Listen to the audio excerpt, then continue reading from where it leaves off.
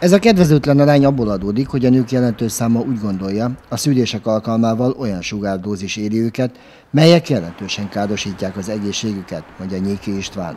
Jelen pillanatban a meghívottak egyharmada jelenik meg emlőszűrésen.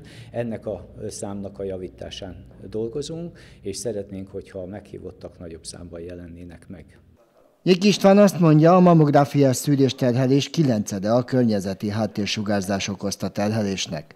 Éves szinten 20 ezres körüli meghívó levélszám megy ki mamográfiás szűrésre, jelen pillanatban 10, ezer, 10 ezret nem éri el a megjelenők száma.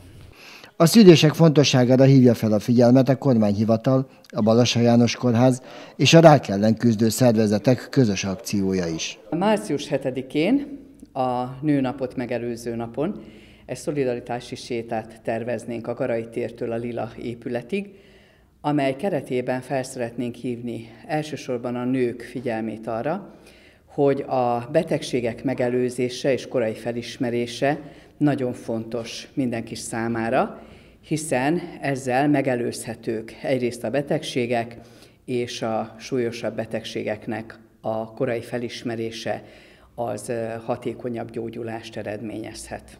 A sétával egy időben a kórház szűrővizsgálati napot szervez minden érdeklődő számára. A statisztikák szerint a népegészségügyi szűrővizsgálatok igénybevétele 18 ezer életet menthetne meg minden esztendőben.